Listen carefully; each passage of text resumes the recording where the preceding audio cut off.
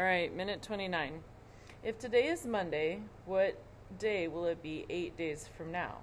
So, Monday, if it's Monday, eight days from now. Tuesday, Wednesday, Thursday, Friday, Saturday, Sunday, Monday, Tuesday, Wednesday. Oops, that's like an extra.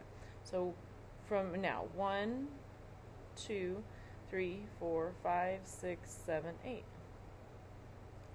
Tuesday.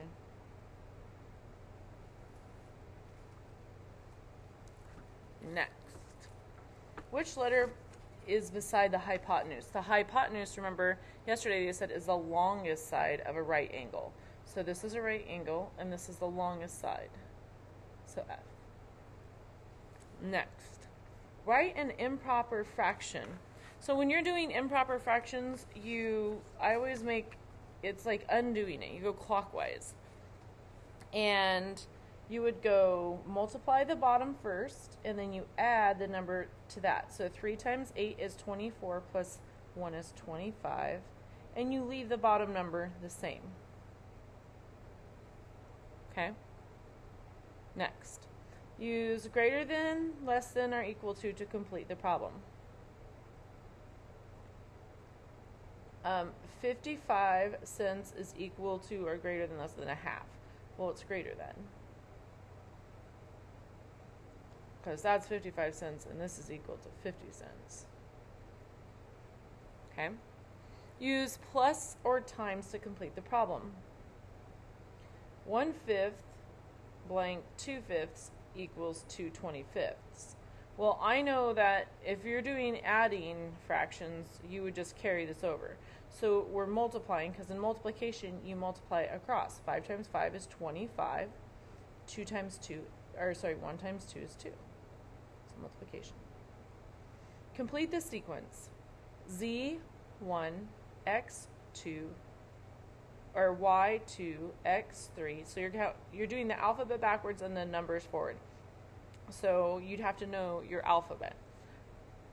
W, X, Y, Z. So W.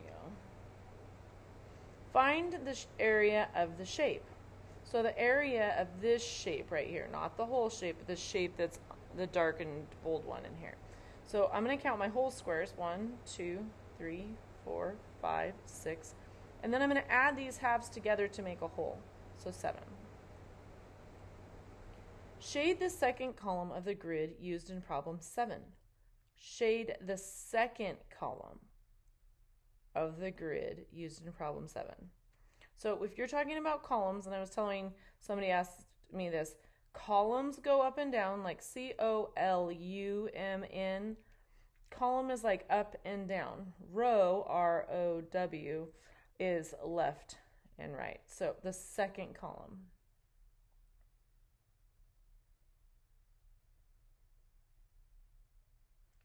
I'm assuming it could be that way. So. Shade just uh, did that. 1.3 a dollar 30 plus 20 cents plus 40 cents. Well, 20 cents and 40 cents is 60 cents. On a dollar 30 plus a dollar 60 equals a dollar 90.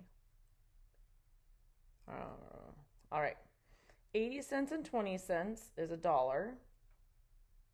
And a dollar plus 70 cents. Sorry, it's barely even on there. a dollar plus 70 cents is a dollar 70.